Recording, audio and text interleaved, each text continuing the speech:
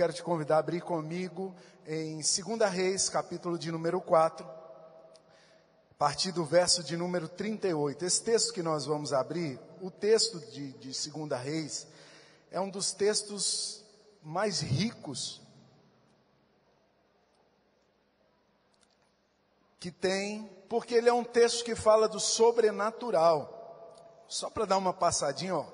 Nesse mesmo texto de 2 Reis 4, nós vemos é, Eliseu ajudando uma viúva, nós vemos Eliseu e a mulher samaritana, nós vemos Eliseu em Gilgal, que é justamente isso que nós vamos ver, e aí o capítulo 5 já fala de Namã leproso, ou seja, é um texto cercado por sobrenatural, cercado pela atuação de Deus, e eu quero declarar que, como a palavra de Deus não volta vazia, essa manhã vai ser uma manhã de ressuscitar, de sobrenatural, que a glória de Deus vai se manifestar sobre a mim e sobre a sua vida. Você pode dizer amém?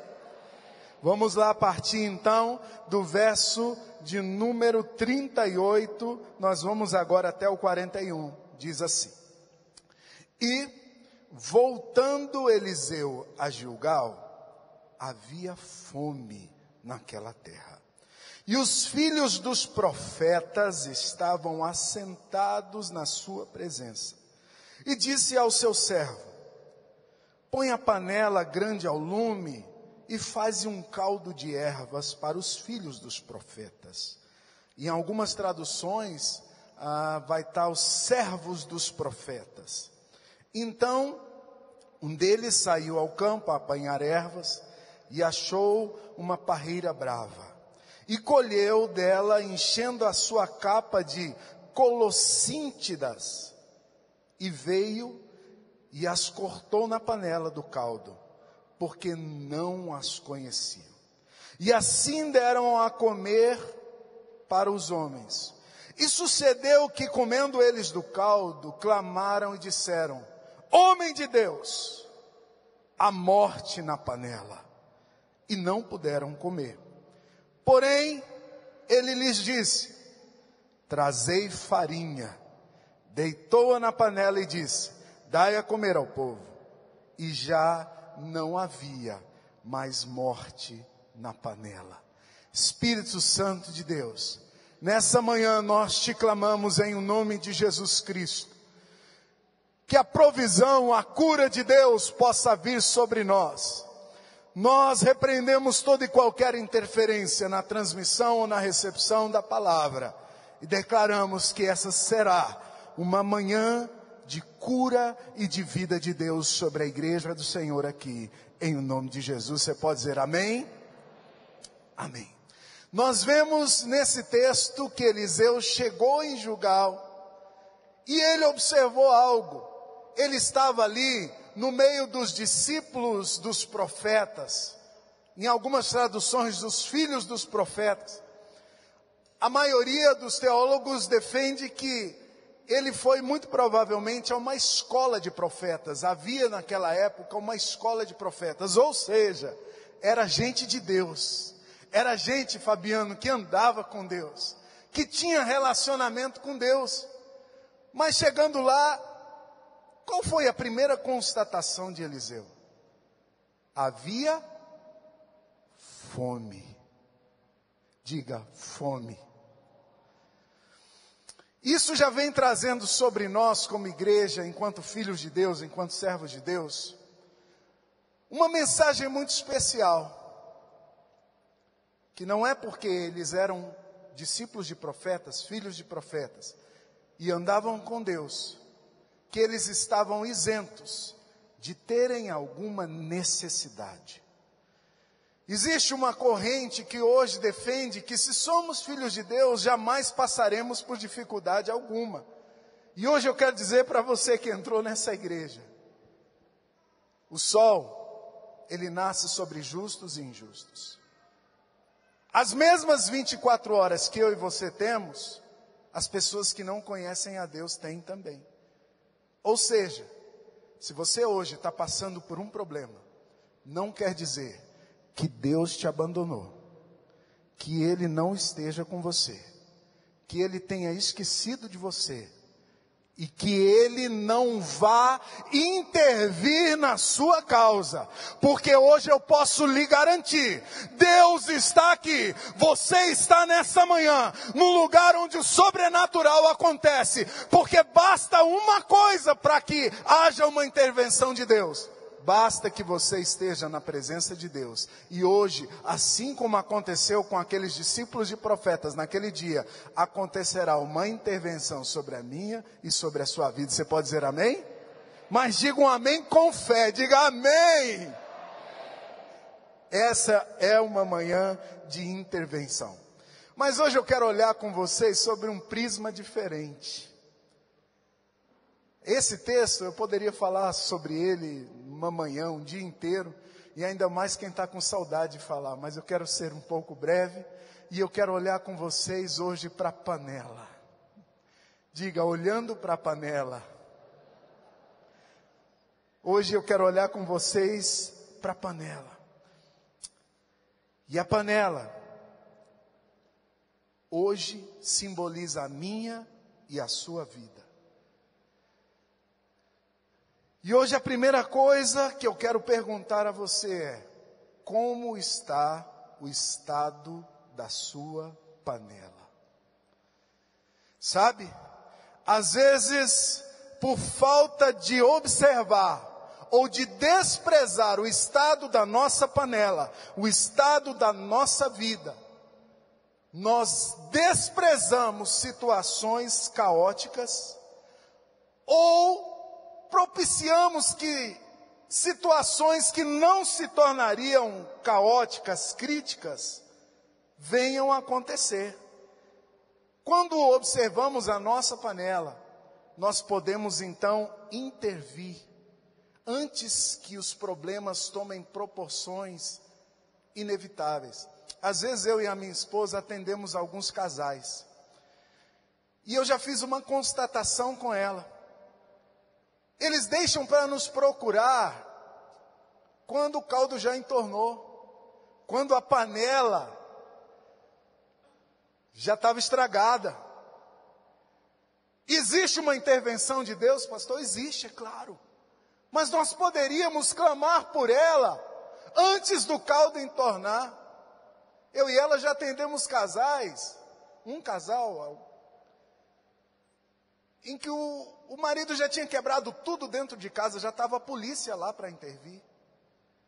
É uma situação que aos olhos humanos já não teria mais jeito.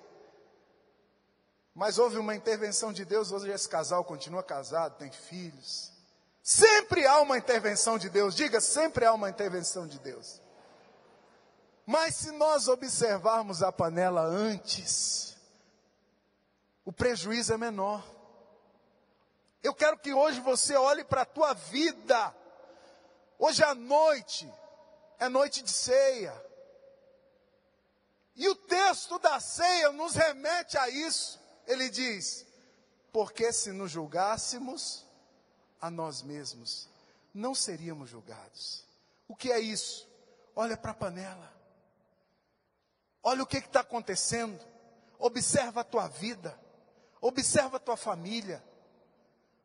Atente-se para os sintomas. Como está a panela? Ela está cheia? Ela está vazia? A panela está suja? Sua vida está machucada? A panela está ferida? A panela está amassada? A panela está quente? Ou ela está fria? Como está a panela da tua vida? Sabe, tem marido que leva a literalidade da música. Sérgio Reis, é, pastor Ricardo, que diz: panela velha é que faz comida boa. O povo da antiga ali lembra. Sérgio Reis, um poeta, hoje, salvo engano, é até deputado. Há muito tempo atrás, eu era criança, meus pais escutavam isso em casa. Ele tem uma música que diz: panela velha é que faz comida boa. Tem marido que toma isso como confissão e deixa a mulher ficar bem velhinha mesmo, bem amassada, enrugada, porque diz que panela velha é que faz comida boa. Olha para tua mulher, cuida dessa panela. Na verdade, panela bem cuidada é que é feliz. Você pode dizer amém? E se a panela está amassada, vamos levar ela para o lanterneiro hoje. Se a panela está suja, vamos limpar. Se a panela precisa de um cuidado, não jogue ela fora, porque a cultura que vivemos diz: joga ela fora e troca por outra. Não presta mais. Vale a pena cuidar, porque existe um milagre de Deus. Não jogue a panela fora. Não desista dos sonhos de Deus. Não desista do projeto de Deus para a sua vida, porque haverá intervenção. Você pode dizer amém? Mas para que essa intervenção aconteça, você precisa ser muito sincero hoje. Como está o estado da sua panela? Como está a panela? Observa, olha para ela. Segunda coisa, observe bem o que e quem você tem permitido colocar algo na sua panela. O texto que nós lemos traz uma informação relevante. Diz assim, literalmente: então saiu um ao campo. Não diz o nome da pessoa, não diz quem ele era, não descreve a sua formação. Pegou um qualquer e mandou para o campo buscar erva para colocar na panela. Gente, presta atenção. Nós precisamos selecionar o que entra e quem entra. Isso não é uma função das outras pessoas. Nós é que temos a função de selecionar. Porque a grande verdade é que a nossa panela, ela vai estar cheia daquilo que nós permitirmos que ela se encha. O que tem entrado na tua panela? Quem tem trazido as coisas que têm alimentado a sua panela? Você tem observado isso? Porque, infelizmente, às vezes a nossa carência, a nossa necessidade é tão grande que nós temos permitido que qualquer coisa entre na nossa panela que qualquer pessoa intervenha na nossa panela, que qualquer um traga as coisas para dentro dela. Do que nós temos enchido a nossa panela? Todos os dias, gente, nós temos assistido coisas que enchem a nossa panela. Nós temos feito coisas que colocam coisas dentro da nossa panela. Nós temos ouvido pessoas que têm influenciado na nossa vida e naturalmente na nossa panela. E eu quero perguntar: você tem observado isso? Porque às vezes não é maldade, isso é tão automático, é tão automático, que às vezes a gente simplesmente liga a televisão, ou acessa um site, ou conversa e ouve pessoas, e isso se torna rotineiro e nós não paramos para intencionalmente entender. Sabe? O nosso crescimento precisa ser intencional. E o nosso sair do buraco também precisa. Mas isso só acontece quando nós temos consciência do que temos colocado dentro da nossa panela e quem temos permitido que traga algo para dentro da nossa panela, porque a verdade é que essa pessoa que saiu nesse caso aqui para buscar alguma coisa para dentro da panela dos filhos dos profetas, ele trouxe morte para dentro da panela. E observe, até eles comerem, eles nem tinham observado que havia morte dentro da panela. Isso é muito sério. Às vezes a nossa panela está cheia de morte e nós nem percebemos ainda. A Bíblia fala que a boca fala do que está cheio o coração. O que tem saído de dentro de você. Observa a sua panela, o que está dentro dela. O texto diz ainda: cortou e pôs na panela, visto que não conheciam. Em nós, talvez, existam tantas coisas que nós não conhecemos e que estejam trazendo morte, e nós não conhecemos por dois fatores. Faça assim comigo, diga, porque às vezes ignoramos e porque às vezes não queremos ver. Porque a verdade, gente, é que para intervirmos naquilo que está dentro da nossa panela, nós vamos precisar cutucar coisas dentro dela que às vezes trarão um desconforto. Já viu aquela pessoa? Infelizmente, isso já aconteceu comigo.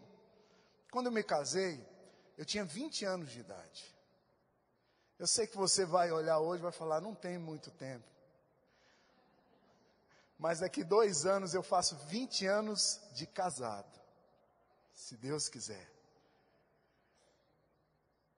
E eu, na minha, no auge da minha juventude, casei, peguei alguns empréstimos para casar, dois professores, e aí eu voltei e comecei a tocar a minha vida. E a bola foi crescendo. Eu não tinha uma observância nas minhas finanças. E aí sabe o que eu comecei a fazer? Eu comecei a ignorar as contas. Sabia? A conta chegava, eu não tinha como pagar, eu simplesmente deixava ela lá. Numa fé burra de que a conta ia ser paga. A verdade é que Deus usou de misericórdia e interviu várias vezes, mas as contas continuavam lá. Eu, eu li um negócio interessante esses dias. Ato profético para prosperar. Falei, opa. Aí estava lá no ato profético. Gaste menos do que você ganha. Pronto. Vai prosperar. Vai sobrar. Mas a verdade é que eu comecei na minha inexperiência, na minha juventude, a deixar de observar, de dar importância para algumas coisas que precisavam de observância. Resultado: as contas foram diminuindo, né, pastor? Uh -uh. Foram crescendo. É claro, se existe uma conta, ela não é paga, o que incide sobre aquela conta? Juros, não precisa ser muito inteligente para saber isso, mas eu não fui tão inteligente. E os juros foram aumentando e a bola de neve foi crescendo. Até que um dia eu tive que olhar para o estado da minha panela. Gente, quando eu olhei, vou confessar, a panela não estava muito legal não. Foi um pouco difícil. Mas eu tive que encarar de frente o meu problema. O que, que você quer dizer com isso, pastor? Eu tenho certeza que hoje talvez existam coisas que você precisa encarar de frente. Talvez não seja na mesma área que eu, quando na minha juventude foram as minhas finanças. Mas talvez você esteja ferido com alguém. Mas talvez você, marido, já não esteja com tanta alegria de voltar para sua casa. E você esteja ignorando isso. Ei, atenta para a tua panela. Tem problema. Vamos encarar de frente e vamos resolver. Sabe? Algumas coisas são sintomas de que tem morte dentro da panela. Tristeza. Qual é o seu nível de alegria? Porque a verdade é que a alegria é decisão. Mas você tem andado triste? Observa isso, pode ser morte na panela, choro, que não seja de quebrantamento. Existe um choro que é de quebrantamento, ou até existe também um choro de alegria, quando a bênção está muito grande. Já imaginou? Ima vamos imaginar aqui uma cena de choro de alegria. Você chegasse hoje na tua casa e na hora que você abrisse a porta, tivesse lá um cartãozinho. Desça ao seu estacionamento, porque existe um carro zero te esperando. Quem não ia chorar de alegria, irmão? Eu vou perguntar, quem choraria de alegria? Levante a mão. Oh Deus, ó, ó, ó que isso aí pode. Deus, olha essas mãozinhas levantadas. Algumas pessoas já viveram essa alegria. Faz essas pessoas viverem, nos faz viver. Eu acredito em milagres, eu acabei de viver um milagre, eu ganhei uma viagem. Eu acredito em milagres. Mas será que você tem chorado que não seja de quebrantamento ou de alegria? Será que tem faltado esperança e fé? Você tem tido novos sonhos, novas perspectivas? Você tem se sentido depressivo? E eu preciso que você seja muito sincero: você tem se isolado das pessoas? A Bíblia diz, Provérbios 18, 18, 1. O que está escrito lá? Alguém sabe me dizer? O solitário insurge-se contra a verdadeira sabedoria. Ou seja, se você tem fugido dos relacionamentos com os homens, é porque existe morte na panela. E naturalmente você não tem conseguido se relacionar muito bem com Deus. Porque se as coisas assim não estão bem, as coisas assim não estarão. Você tem se isolado. Você tem flertado com o pecado? Pastor, eu já tinha vencido isso, mas eu comecei a voltar a fazer. E quando eu vejo, eu estou brincando com o pecado. Cuidado, isso é morte na panela. Você tem relativizado os princípios de Deus que você tanto acreditou durante toda a tua vida? Outra coisa que a gente precisa observar, como eu falei e como a Bíblia diz, a boca fala do que está cheio o coração. Tem reclamado muito? Tem murmurado? Uma das primeiras vezes que o pastor Lucinho veio no nosso congresso que chamava Autênticos, eu tive a oportunidade de transportá-lo. Um dia no carro, agora ele tem quase 45, mas na época ele estava beirando os 40. E eu falei, eu fiz uma pergunta para ele. Eu falei, pastor, vem cá, me ensina uma coisa. Como é que o senhor consegue se manter tão jovem, mesmo aí perto dos 40? E ele disse: Eu aprendi um segredo. Eu não quero ser murmurento. Eu procuro não murmurar. Porque lendo a Bíblia, eu descobri que Deus mata o murmurador. E eu não quero morrer. Então eu coloquei uma decisão na minha vida: não vou murmurar. E eu descobri que isso tem me mantido jovem. Você tem murmurado? Observa o murmurador, Deus mata ele. Quer viver muito? Para de murmurar. Apatia, mornidão, são apenas alguns sintomas de que tem morte na panela. Olha para a panela hoje. O que você tem permitido entrar na panela? O que está dentro da tua panela? Alguma coisa está dentro dessa panela. Pelo amor de Deus, hoje olha para ela. Existe um chamado de Deus hoje para você olhar para a tua panela. O que tem estado dentro da tua panela? Porque hoje eu quero te dar uma informação muito valiosa. Diga, tem cura para a panela.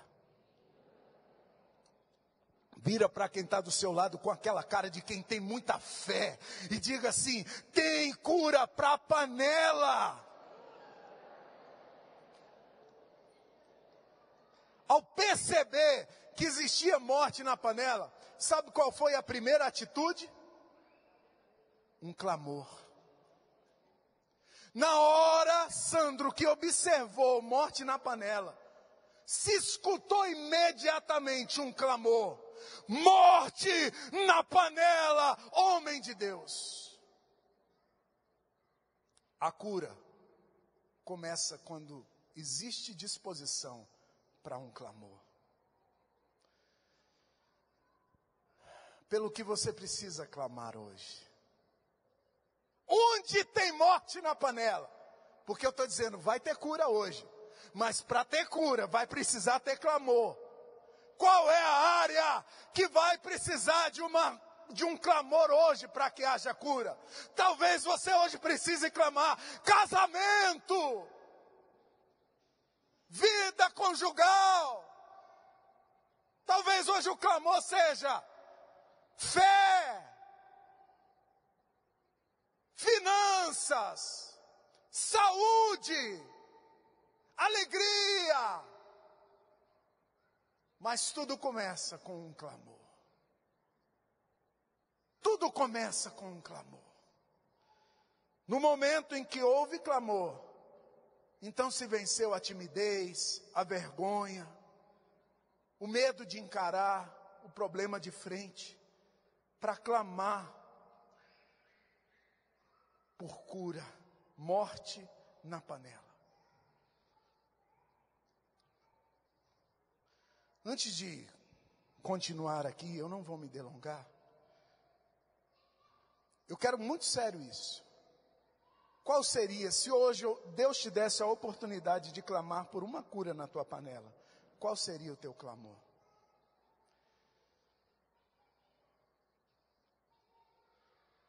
Nós vamos clamar daqui a pouco, mas agora, no teu lugar, eu quero te pedir, faça uma oração a Deus. Coloque diante do Senhor essa área que precisa hoje de uma intervenção de Deus. Senhor, olha cada vida, e eu sei que o Senhor tem olhado. Nenhuma delas tem passado desapercebido do Senhor. Tem morte na panela, Deus. E hoje eu quero te clamar. Faz o sobrenatural acontecer. Faz o sobrenatural acontecer. Deus, hoje tem morte na panela. Qual é a tua estratégia para que a vida venha em nome de Jesus? Você pode dizer amém? Engraçado, eu achei tão interessante que quando clamou, Deus deu uma estratégia. Qual foi a estratégia? Qual foi a estratégia que Deus deu ao profeta? Bota farinha. Aí o nordestino pira, mano. Bota farinha. Fala isso pro maranhense, tá brincando. Farinha. Meu irmão, maranhense come tudo com farinha. Tudo. Banana com farinha. Meu pai come melancia com farinha. Tu acredita uma coisa dessa? Café com farinha. Abacate com farinha e açúcar é maravilha de, de Deus, é manjar. Aleluia. Imagina uma estratégia dessa. Eu penso que alguns deles talvez fossem nordestinos, né? Bota farinha. Porque imagina, não tinha erva para fazer a sopa, Paulo, mas farinha tinha. Porque senão não tinha mandado botar farinha. Mas Deus vai lhe dar uma estratégia. A estratégia do profeta ali foi bota farinha. Veja bem, eu acho tão interessante. Quênia, não seria muito mais fácil, aos olhos dos homens, que o profeta lançasse a comida fora, afinal de contas estava com veneno. Qual era a nossa primeira lógica? Pega a comida com veneno e joga fora, bota outra, bota outra. Mas não foi isso que Deus mandou fazer. A verdade é que Deus não despreza as nossas dores. E Deus não nos joga fora simplesmente porque temos um problema. Deus mandou trazer cura sobre o problema. Deus não mandou jogar o que tem fora. O que você está vivendo hoje, presta bem atenção nisso. Vai ser instrumentos nas mãos de Deus para cura na tua vida e na vida de outras pessoas. Porque você não está passando por isso que você está passando sem um propósito. Era muito mais fácil jogar essa comida fora e fazer uma nova. Mas Deus mandou trazer cura sobre a panela. Essa aflição que você está passando hoje, esse problema que você está passando, o que ele vai viver é cura de Deus. E essa cura vai ser cura para você e cura para outras pessoas.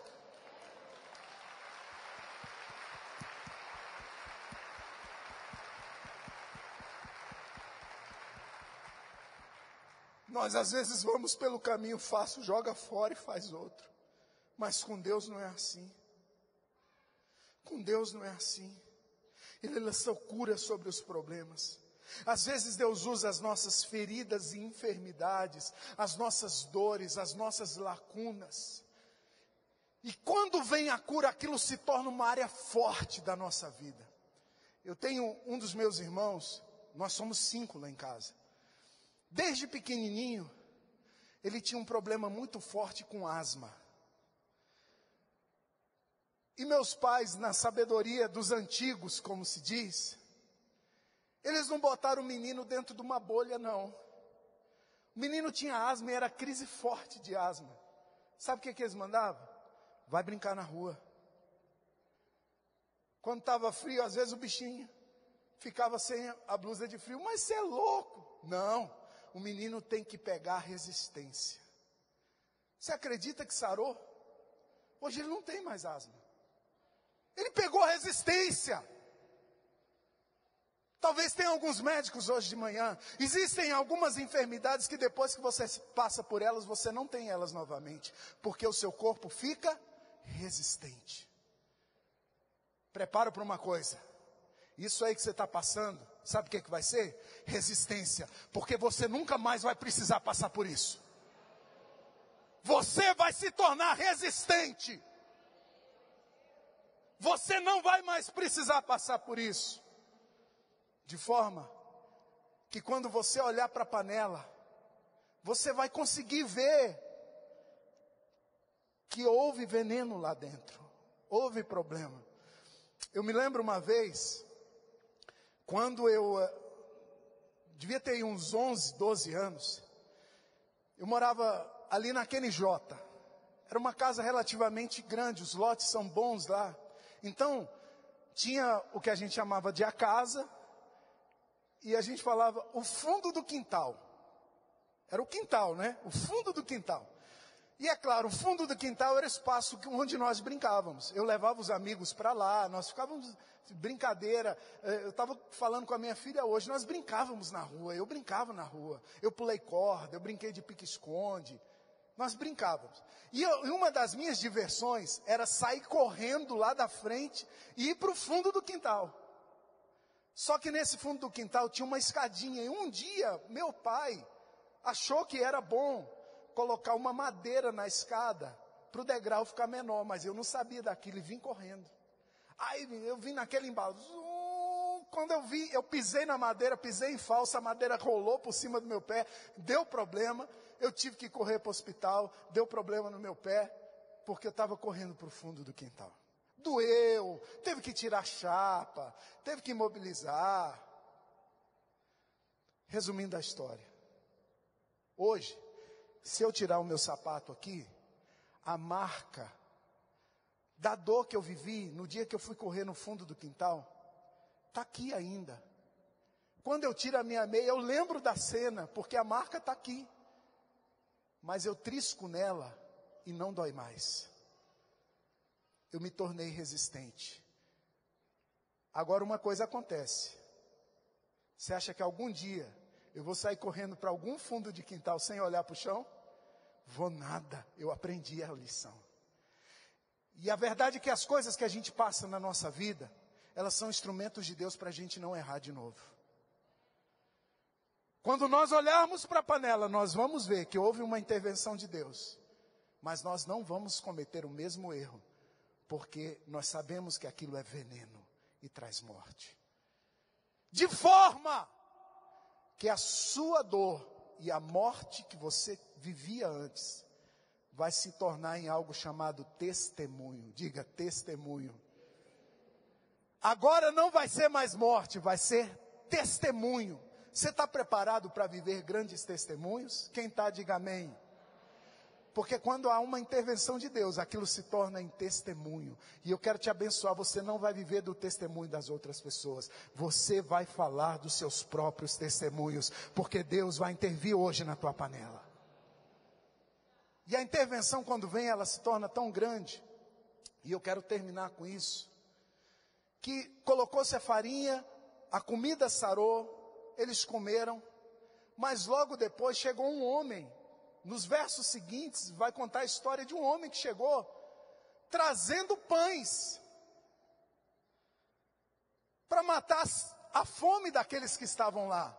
Ou seja, eles já tinham tido a comida curada, aí veio mais provisão, veio mais pão, e junto com esses pães veio um milagre.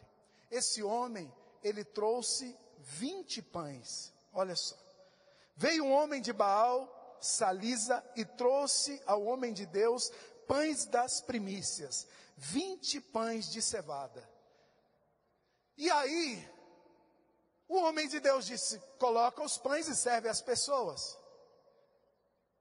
E aquele homem disse: Mas o que são vinte pães para mais de cem pessoas? E o profeta disse: Todos vão comer e ainda vai sobrar. Foi a primeira multiplicação de pães registrada ainda no Velho Testamento.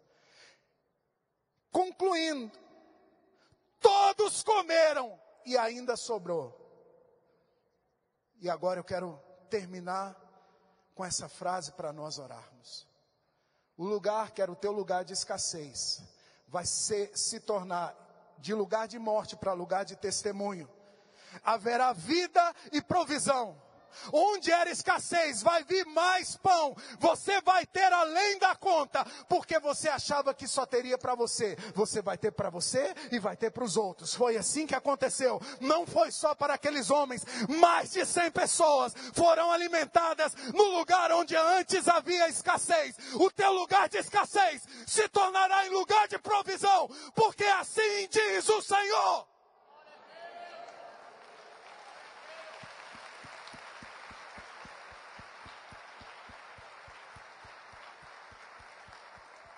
E eu quero terminar junto com você, porque assim como eu, eu sei que cada um de nós tem um lugar que hoje precisa de uma intervenção de Deus. E para que essa intervenção de Deus aconteça, precisa haver o quê? Clamor, diga clamor. E hoje eu quero declarar que o teu problema se tornará em testemunho e será provisão para a tua vida e a vida de outras pessoas. Mas tudo começa com clamor. E eu quero te convidar então a ficar de pé no teu lugar, porque nós vamos fazer esse clamor nessa manhã. E hoje eu quero convidar para fazer esse clamor conosco, uma pessoa que para mim é um dos referenciais de fé. Eu já vivi e vi muitos milagres acontecerem, Deus usando essa pessoa. Eu gostaria de chamar nessa manhã para orar junto conosco a pastora Laura Guerra, uma mulher de milagres. Ora conosco. Diga comigo, Deus é amor. Levante a mão e feche os olhos. Pai, nós confiamos neste amor extraordinário. E hoje, Pai, aqui está a casa do pão. Aleluia, ricandalahachoriandria. Jesus, tu és o quinto pão que alimenta. Tu és o quinto pão que cura. Meu Deus, estamos aqui, Senhor, para declarar que todo veneno da panela sai agora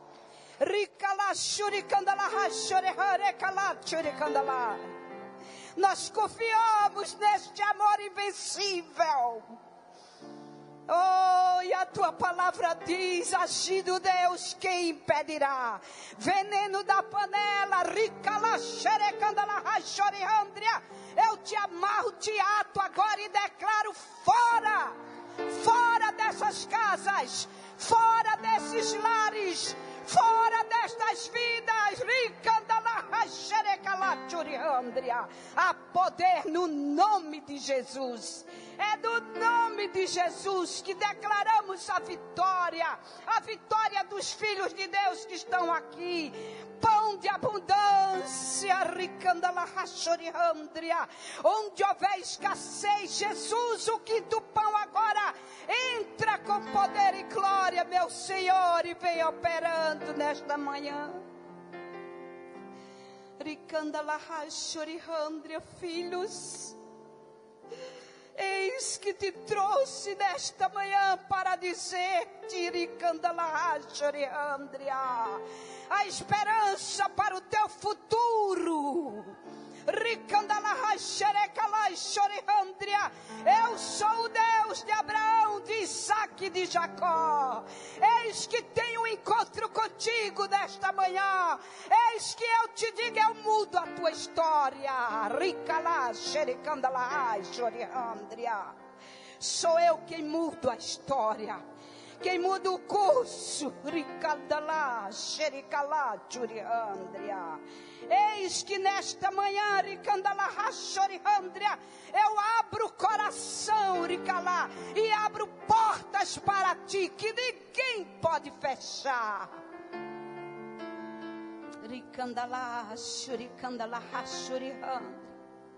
E ainda te digo, vou pagar as tuas dívidas. Tu que estás dizendo, Senhor, eu estou endividado, como eu vou resolver? O Senhor está te dizendo: vou pagar tuas dívidas. Eu te dou Ricandala Rachorihandra 60 dias. E nesse período virá sobre ti um grande vento de poder. Sou eu que te sopro. E a porta, Ricandala Rachorihandria, que eu vou abrir, Ricandala Rachericalachorihandria, alcança a tua vida e aqueles que estão perto de ti. Ricandala Churihachorihandria. Há milagres, meu Senhor. Há milagres na tua casa, há milagres na tua presença, há milagres, meu Deus, bendito seja o teu nome, Deus que curou a comida da panela e alimentou o seu povo, trazendo pão de abundância. Meu Senhor, em nome de Jesus, nesta manhã, decretamos a vitória da fé. Essa fé que nós falamos, Ricandalai, Xericandalai, Choriandre. Abra sua boca de olho fechado e diga comigo: Senhor meu Deus, o teu nome é Deus proverá.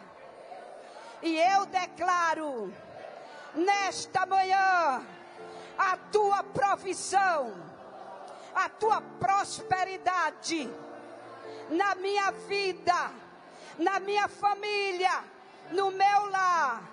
Diga, eu determino que a morte saiu hoje da minha vida. Diga, morte espiritual. Eu te venço agora, no poder do nome de Jesus. Eu declaro minha vitória. Diga: terei vida em abundância. Diga: vida de Jeová Jireh, do Deus que proverá. Entra na minha vida. Entra agora. Reina na minha vida. Reina na minha casa. Reina na vida dos que estão perto comigo. Diga, Senhor meu Deus, eu já te agradeço pela tua vitória cabal. Diga vitória cabal. Vitória completa. Diga toda morte derrotada. Diga aí a vida do Espírito de Deus sobre a minha vida, sobre a minha posteridade. Diga todos que vierem de mim serão prósperos, servirão a Deus com alegria, em nome de Jesus. Pai, nós te agradecemos Tu és o Senhor, Senhor que cura, Senhor que ama, Senhor que salva, Senhor que liberta, aleluia, Senhor que abre portas, Senhor que, que está hoje aqui na casa do pão, distribuindo pão com abundância. Oh Deus, muito obrigada, Senhor. Obrigada pela tua vitória. Obrigada por esta fé que vence o mundo. Aleluia. É a palavra da fé que pregamos, Pai. E esta palavra está dentro de nós e ninguém pode tirar, Pai. Nem o diabo, nem o pecado pode tirar a palavra da fé, porque o pecado é condenado, já foi condenado na cruz. Lá na cruz, há mais de dois mil anos atrás, Jesus condenou o pecado e ele não tem mais vez, aleluia. Não pode triunfar, nem pode matar o crente, aleluia. O Filho de Deus não morre. Bendito seja o teu nome pelo pão que o Senhor trouxe para nós uma manhã de rema, uma manhã de milagre, uma manhã de vitória. Oh, aleluia! E o Senhor está dizendo, filhos, olha a minha vitória adentrando os teus lares minha vitória adentra nos lares esta manhã. Eis que visito os que estão nos hospitais. Eis que visito os que estão doentes em casa. Eu visito aqueles que estão amarrados, presos e liberto nesta manhã. Ore Handra, tu que deste dois passos e disseste: Ninguém vai me impedir de ir à igreja hoje. E entraste por estes portais. Eis que eu te digo: a tua vitória está garantida. Nesta manhã tu selaste a vitória da tua vida. E ninguém impedirá, porque estou agindo em teu favor. Oh, meu Deus, muito obrigada. Muito obrigada, Jeová Sabaote. Senhor que sabe fazer a guerra e que já venceu por nós. Muito obrigada, em nome de Jesus. Levante a mão e diga: Senhor, eu agradeço, porque tu és o meu Pai. Diga: Eu tenho o DNA de Deus no meu coração, no meu corpo. Diga, eu sou filho do dono de tudo. Diga, o meu DNA é o de Deus. Diga, Deus é meu Pai. Deus me ama. Diga, eu amo Deus. Aplaude o Senhor, amados.